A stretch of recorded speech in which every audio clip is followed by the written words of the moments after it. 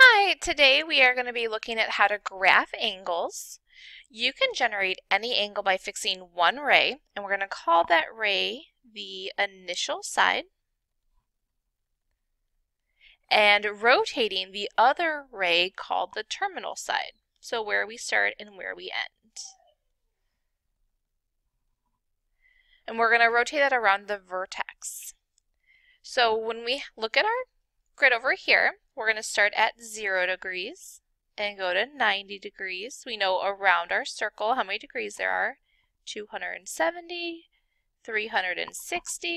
So when we go to rotate, we have the initial side. The initial side is always going to be at 0. And you're going to rotate that around the vertex. So I'm just making up an angle here. Where that ray stops is going to be called the terminal side.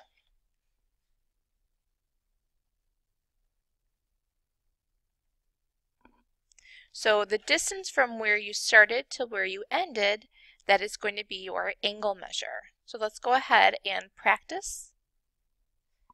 We're going to start with 200 degrees. So we know our angles. We're starting at 0. We've got 90, 180, 270, and all the way around is 360 degrees. So if I want to go to 200, we're starting here.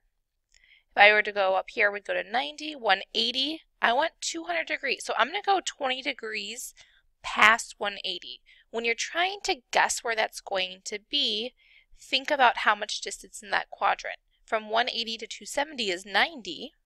So halfway would be 45 degrees. So I'm going to go about half so of half, so about a quarter of the way. And I'm going to end right here. When you draw this, you want to show that rotation. So we're going to start at zero, and you want to draw that arrow. It is important that you show the fact that you started at zero and that you rotated around. I need to see which way that arrow is going. The direction that the arrow is going is really important because when you look at the next example, we have a negative 100 degrees. So when you have a positive angle measure, so if the angle measure is positive, you're going to be doing your rotation counterclockwise.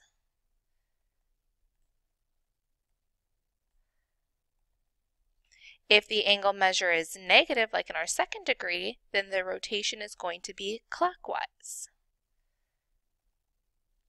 So if I have a negative 100, instead of rotating to the left counterclockwise, we're going to be rotating to the right clockwise, which means if I'm going here, I'm going this direction first. So this is a negative 90, a negative 180, a negative 270, and a negative 360. So if I want to go 100 degrees, I'm going to go just 10 degrees past that negative 90. We're always starting at zero, so it's just a matter of which direction you go. So we're going to be rotating or clockwise for that negative angle measure. So the rotation of your arrow showing me that you started at zero and which way you rotate is a part of the graph. So our last one is 600. It's positive, so we're going to go counterclockwise. We know we start at 0, 90, 180, 270, 360. Now when I go all the way around my circle, I haven't hit 600 degrees yet, so I want to keep going.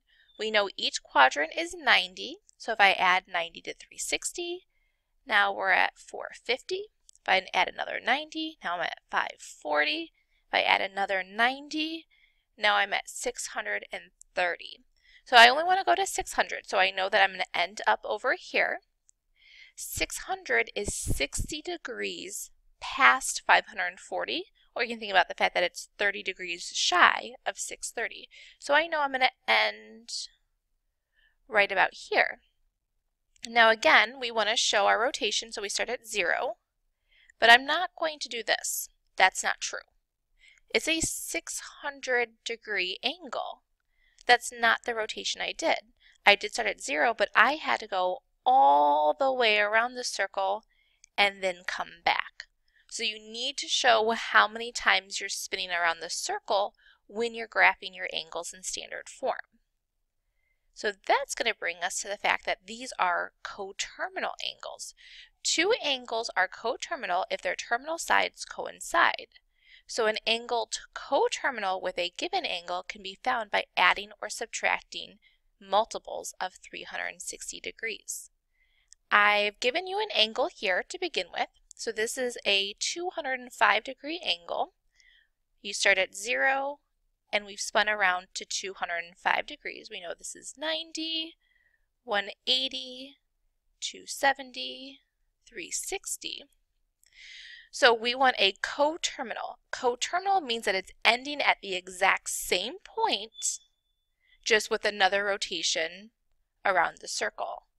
So if I were to start here at zero, like we always start, and I go, I'm going to pass that terminal side and I'm going to come all the way around again. So I started at 205, but I went around the circle again, and we know the distance in the circle is 360, so I added that 360, and I got 565 degrees. Now there's infinite possibilities because I can continue going around the circle, around the circle as many times as I wanted to. Now we also have a negative coterminal. So the negative coterminal is going the opposite direction. So if I'm starting at zero, we know our negative angles are going this direction. We've got that negative 90 and negative 180. So we want to figure out where that is. So just like before when we added 360 to find the positive, if I want to find the negative, I'm going to be subtracting 360 because I'm going to go in the other direction. 205 minus 360 is a negative 155. So from here to here, that's a negative 155 degrees. So if you think about if I started at this terminal side right here, the reason why we subtracted is I'm subtracting this whole distance around the circle. And it puts us back at that 205. So coterminals are just multiples of 360. You're adding 360, you're subtracting 360. So let's go ahead and flip over to the back side. List one positive and one negative coterminal angle. So we're starting with three, 400 degrees. So we've got 90, 180, 270, 360. 400, we've got to go a little bit more. So we add another 90. That's our quadrant. So now we're at 450. We see that 400 degrees is 40 degrees past 360. So when I draw in standard form, we go all the way around and we come back here. So if I want a positive coterminal angle, I take the 400, I add 360. And one possible coterminal, starting at zero, going all the way around, passing it again, coming back, that's going to put us at that 760. Now if I'm going to try to find a negative coterminal angle, I'm going to subtract. So 400 minus 360, well that puts me at 40 degrees. This is another positive coterminal angle because from here to here is 40 degrees. So I'm still in need of that negative coterminal angle, which means we need to subtract 360 again. So you can either start where you finished off, so 40 minus that another 360, which puts you at that negative 320. Or you could have done 400 minus 360 twice, whichever way you want to look at it. Because again, we subtracted 360 once here, which put us at 40, and then we subtracted 360. We subtracted 360 twice. So you can start where you left off, or you can just start where you began and then subtract 360 twice. Either way, your negative coterminal is going to be a negative 320 degrees. So starting at zero, we're just going the other direction around your circle. You're going clockwise. And we're still going to be starting at zero. Whenever you draw your angles, you always begin at zero. All right, so now we have a negative 310 our negative angle measure. So now we're going clockwise. I like to label the axes so I have an idea of where I'm going. So if I want a negative 310, I'm going to be going 40 degrees past 270, or you think about I'm going 50 degrees before. So I'm going to be stopping around here because it's a negative coterminal. We're starting here, going clockwise, ending there. So if I want a positive coterminal, we have a negative 310 plus 360, which puts us at a positive 50. And you can see that starting again at 0, going in the counterclockwise direction. Here's our 50 degrees. And our negative coterminal, negative 310 minus 360, is going to put us at a negative 670. So because we already have that negative angle, when we start here, we start at 0. We're going all the way around a second time. So you can see that coterminals are all about having that same ending point. All of these angles are ending this ray right here. It's just a matter of one, which direction did you go, clockwise or counterclockwise, and how many times around the circle did you go to get to that spot. All right, so next we're going to think about the circle itself.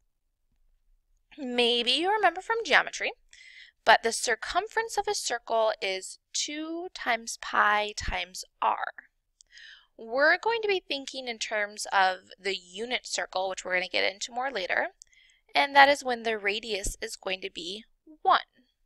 So we're going to think about the fact that in a circle there's 360 degrees. The circumference is the distance around the circle, which means when we talk about radians, the distance around the circle is going to be 2 pi. So 360 degrees is the same as 2 pi because we're thinking about the radius of 1. We're going to use this idea to help us convert between degrees and radians. And I know radians is a new word to you. You may have heard about it last year in geometry. Don't worry about what a radian is. We're going to concentrate more on that tomorrow. But what we're going to concentrate is how to convert between degrees and radians. If I'm going from degrees to radians, I'm going to multiply by pi over 180. And if I want to convert from radians to degrees, I'm going to multiply by the reciprocal, so by 180 over pi. And it's actually pretty easy to remember when you use each of them. So if I want to convert 140 degrees to radians, I know that I'm in degrees because I have the degree indicator. If I have my answers in radians, there should be a pi in the answer. So if I want there to be a pi in the answer, I'm multiplying by pi over 180. Remember, if you're multiplying one that is a fraction and one that's not, you can just throw that over 1. You multiply across. You're not going to put pi in your calculator. You're going to keep that. So really, you're in your calculator, you're doing 140 divided by 180, which is going to reduce down to 7 pi over 9. I know if my answer is in radians because there's a pi in my answer. So radians have pi and degrees don't. So now if I want to convert from pi over 8 to degrees, and again I know that this is in radians because there's a pi in the answer, degrees doesn't have pi. So what I want to do is I want to cancel those pi's out, which is why I'm going to use the converting factor of 180 over pi.